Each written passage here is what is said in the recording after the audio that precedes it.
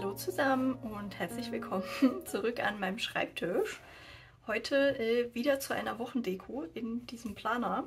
Ähm, Im letzten Wochendeko-Video haben wir ja die hier gemacht, die ich immer noch nicht beschriftet habe, wie man sieht.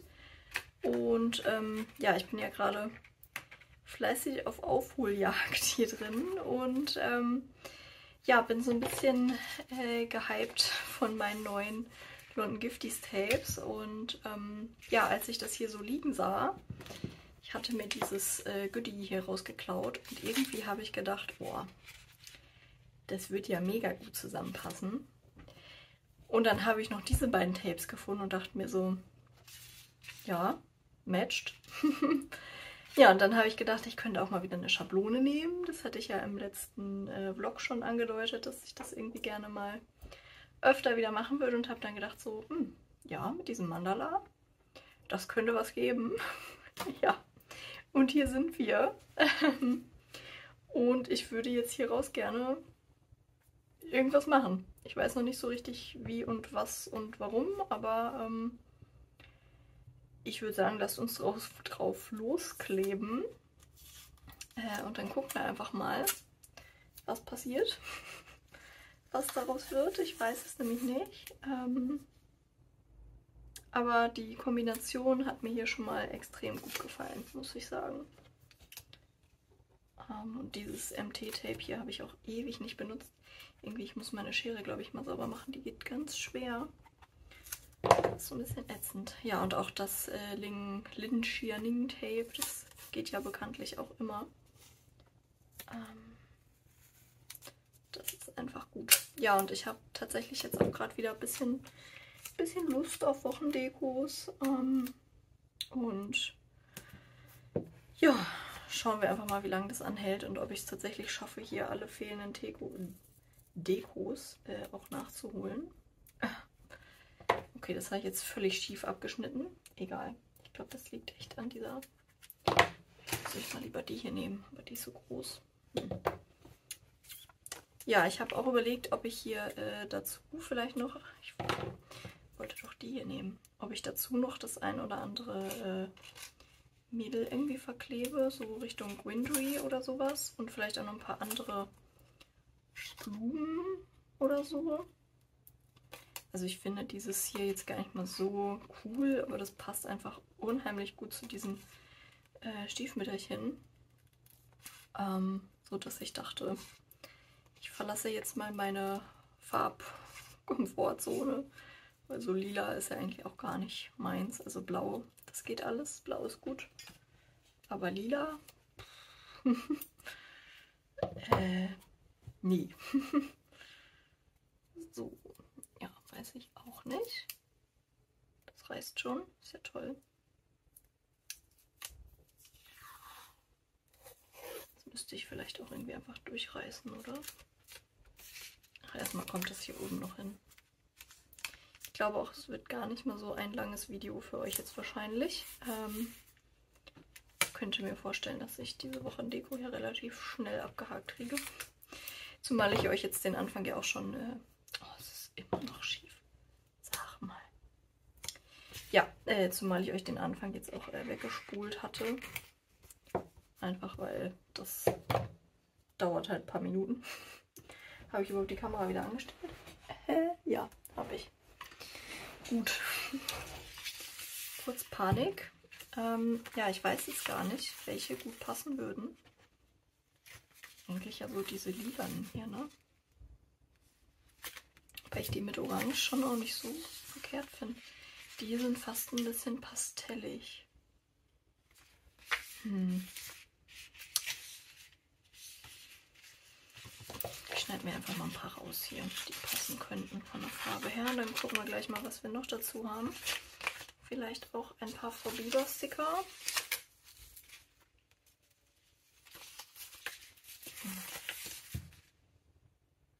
Hm.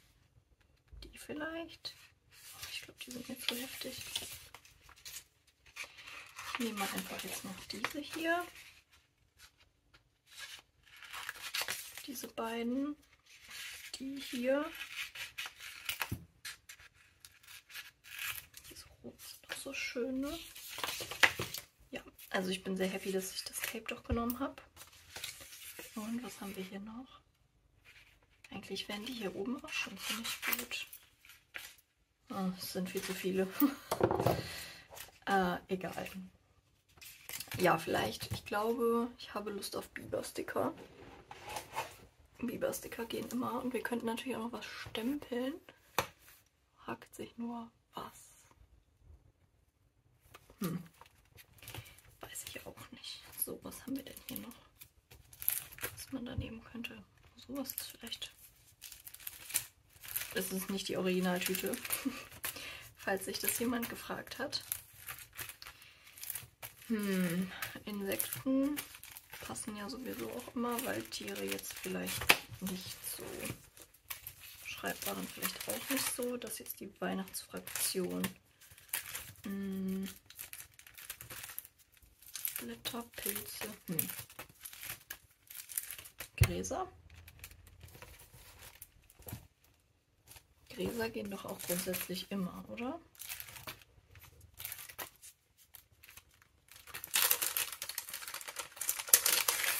Hier noch was angefangen ist. Ja, die sind noch neu. Das hätte ich ja auch mal in eine Tüte packen können. Hier sind angefangen. Aber das sind die neuen, ne? Nicht von den alten noch irgendwie was? Ach, egal. Ich nehme jetzt das, was hier schon angefangen ist. Und was habe ich jetzt hier eben noch?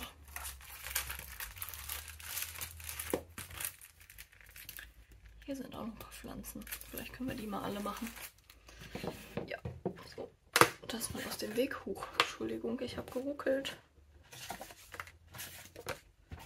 Alles, was Dreck machen kann, hier weg. So. Okay.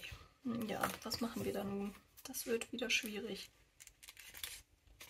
Ich schneide erstmal die, die paar Dinger hier aus. Ähm, ja, es gibt jetzt auch tatsächlich gar nicht so viel Neues, äh, was ich euch erzählen kann, weil seit der anderen Videos ähm, für mich jetzt noch nicht so viel Zeit vergangen ist weil ich jetzt gerade wirklich äh, das Zeitfenster nutze, ähm, in der ich auf meine Korrekturen warte äh, von der Masterarbeit, um hier ein paar Videos zu machen, weil ich auch gerade einfach unheimlich Lust dazu habe, äh, muss ich auch sagen. Ähm, ja, und tatsächlich, ich, ich will mich jetzt auch nicht aus dem Fenster lehnen. Ich hatte ähm, es könnte halt sein, dass ich euch schon gesagt habe, dass ich die Arbeit schon abgegeben habe, falls ich das dann schon getan habe.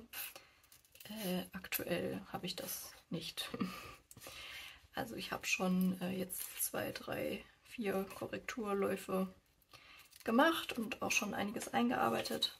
Ähm, ich habe äh, bis heute Nacht relativ lange gesessen äh, und gearbeitet, weil irgendwie ja, wollte ich dann einfach einen kompletten Durchlauf äh, fertig haben und ja, habe dann so ein bisschen Nachtschicht eingelegt, aber war dann auch irgendwie ein gutes Gefühl, als das dann durch war, muss ich sagen. Ähm, und ja, jetzt schauen wir einfach mal, wie die nächsten Tage noch verlaufen und ich bin aber eigentlich optimistisch, ähm, ja, dass das dann alles auch so klappt, wie ich mir das gedacht habe. Genau, so weit der Plan. Schauen wir mal. Ähm, ja, und ich bin wie gesagt sehr, sehr happy über diese ganzen London Gifties Tapes, die hier auch stehen. Das, ähm, ich habe auch überlegt, von diesen Motten würde farblich auch was passen, aber hm, ich weiß nicht, ob es dann nicht auch einfach ein bisschen viel ist irgendwie. Und ähm, ja, möglicherweise habe ich auch schon wieder bestellt. Schande über mich.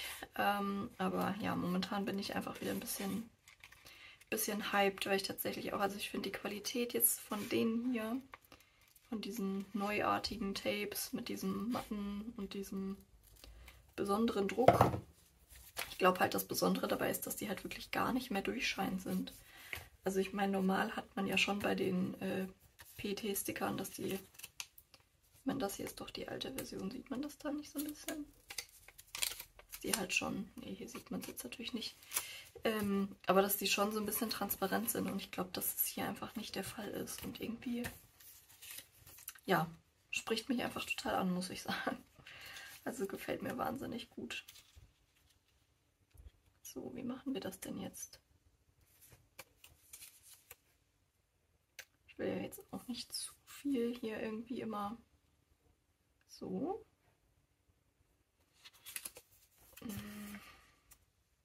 Ich mag das nicht, wenn das so symmetrisch ist, muss ich sagen. Vielleicht mache ich die hier so an Rand. Das ist natürlich auch ein Vorteil jetzt von ähm, nicht, wenn es im, nicht im Stickeralbum geklebt ist, dass ich die hier halt noch so ein bisschen positionieren kann, wie es mir gefällt. Das ist durchaus ein Vorteil. So, erstmal kommen hier jetzt Biber-Sticker hin. Ja, irgendwie hier muss ja auch noch was hin. Was machen wir denn da? Kleben wir erstmal Gras hin. Okay, vielleicht wird das Video doch nicht so schnell, wie ich gedacht hatte. Ups. Hier ist noch so ein kleineres. Das nochmal. Ja, und äh, Biber-Sticker sind natürlich nach wie vor ungeschlagen. Den sieht man jetzt fast gar nicht. Egal. Bleibt trotzdem da. Also die London Gifty Sachen sind halt immer wahnsinnig groß. Das ist so ein bisschen Nachteil. Also eigentlich müsste ja hier so, so eine dicke Blume hin. Ne? Und dann könnte hier doch noch so ein, so ein Blatt hin, ein Farn. Das machen wir jetzt einfach mal. Kommt hier neben. So. Ja, und ich klebe die jetzt einfach auf, bevor ich es mir wieder anders überlege.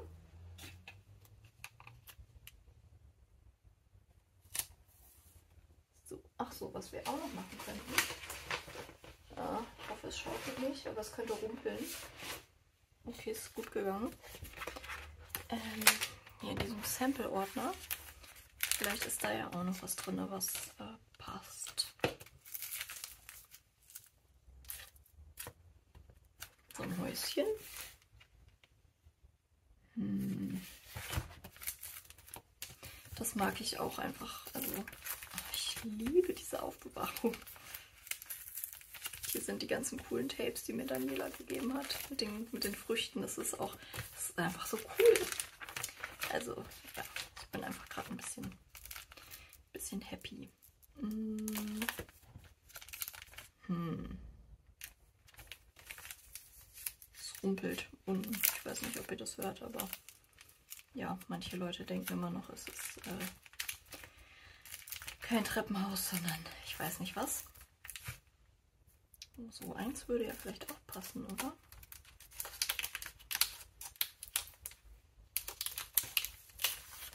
Es wird dann fast Sommernachtstraum 2.0. Pilze sind jetzt nicht so passend. Das ist sehr winterlich. Der Deutsche wieder passt auch nicht dazu. Das ist sehr herbstlich und sehr kirchenfensterig. Hm, nee. Okay. Es könnte sein, dass hier irgendwann irgendwas umfällt. Also schlecht finde ich es gar nicht mal. Das wird irgendwie mit dem auch ganz gut zusammenpassen. Okay, machen wir jetzt einfach mal so. Dann wird das hier eine sehr krass London Gifties mäßige Deko. Aber egal.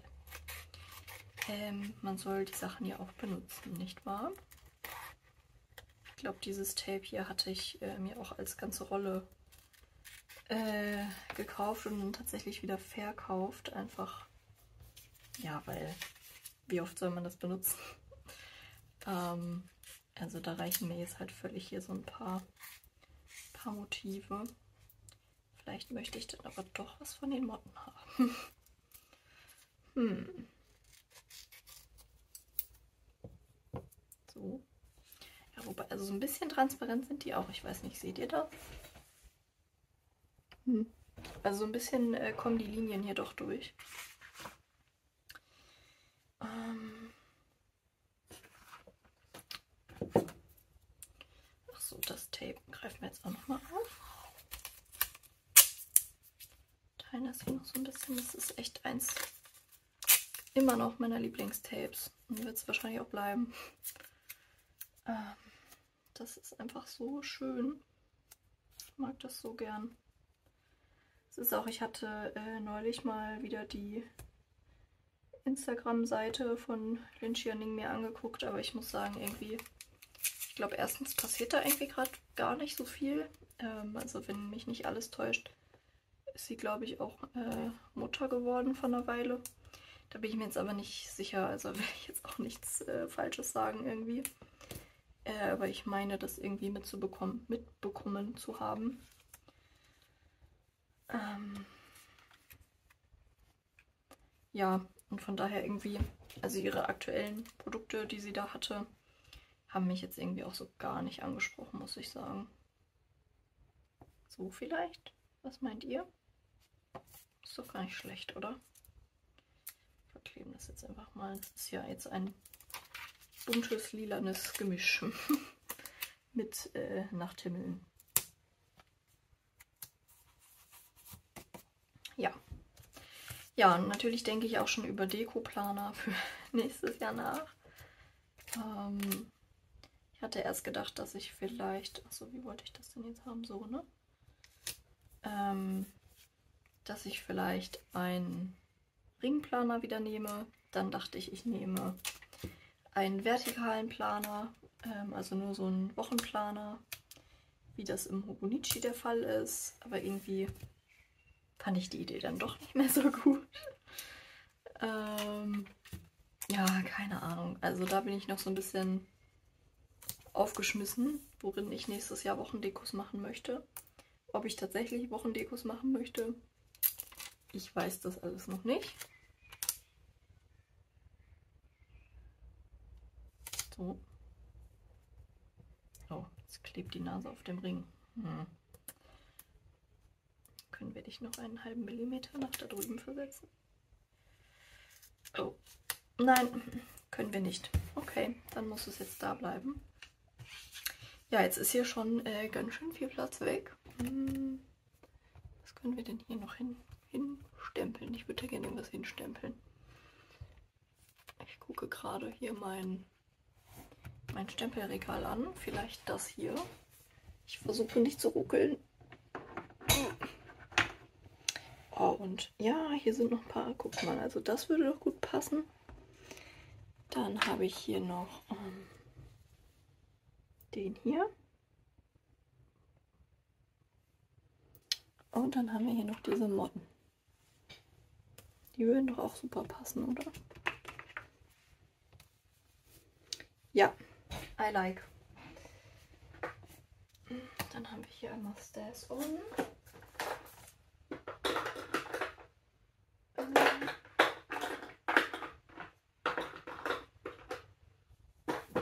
Und hier ist äh, Versa Magic Eggplant. Und dann kann ich jetzt hier noch ein bisschen rum hinstempeln.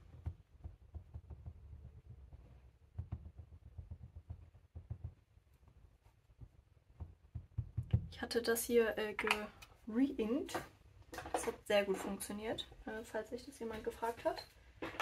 Äh, ich hatte mir ja irgendwann hier dieses Refill-Ding gekauft. Also das ähm, war gar kein Problem. Das hat super funktioniert.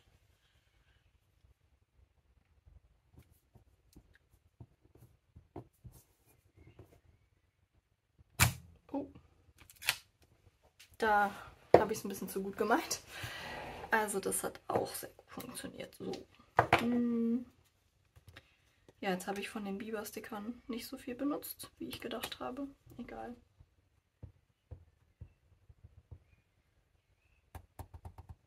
Und den habe ich gar nicht ausgeschnitten, sehe ich gerade. Ah, hoffen wir, dass uns das jetzt nicht auf die Füße fällt.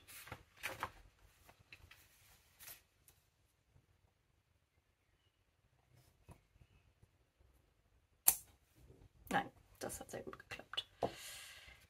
Okay, mm, ja, irgendwie es ist mir jetzt hier alles noch so ein bisschen zu zufällig irgendwie. Hatte ich mir nicht hier noch ähm, man jetzt hier noch so die hier noch mal so ein bisschen aufgreift an der Seite. Das finde ich jetzt auch nicht so verkehrt irgendwie. Ja, ich weiß auch nicht so richtig, was ich will hier gerade. So. bisschen Angst, dass ich hier irgendeinen von diesen Tabs aus Versehen abschneide.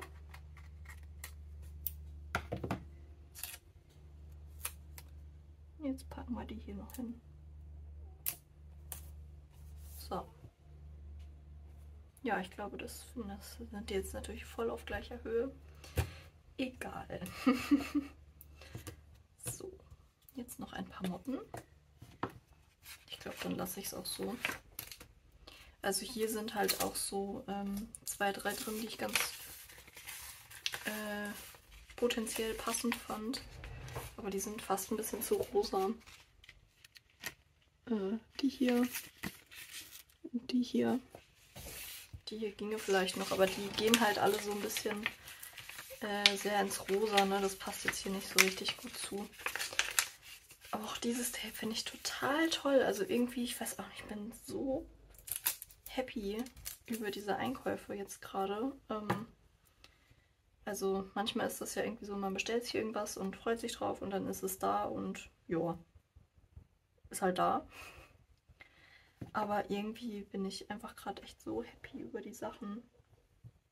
Stehen hier auch noch auf dem Schreibtisch offen und noch nicht weggepackt und irgendwie, ja, freue ich mich darüber gerade sehr. Das ist ganz schön. So, du kommst jetzt hier noch hin. Hauptsache, ich habe überhaupt genug Platz zum Beschriften gleich. Wahrscheinlich nicht, aber egal.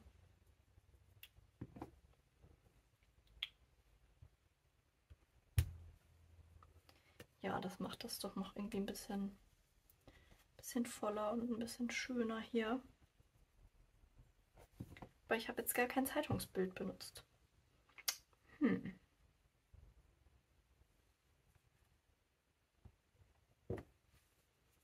Ja, die mag ich auch sehr. Die waren irgendwie auch mal von Café Analog, glaube ich. Weiß gar nicht, ob es die noch gibt. Aber da bin ich doch auch sehr froh, dass ich die habe.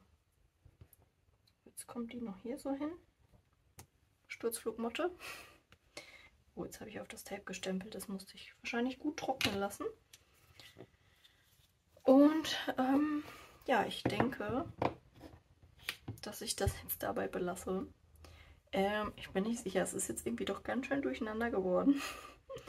so insgesamt. Ähm, mir fehlt ein bisschen die Struktur. Das ist äh, mir hier ein bisschen besser gelungen, aber die ist auch nur halb so voll, ne? Ja, also lasst mir gerne mal eure Meinung da.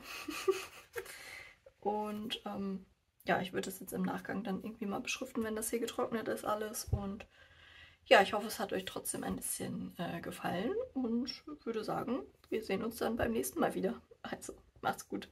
Ciao.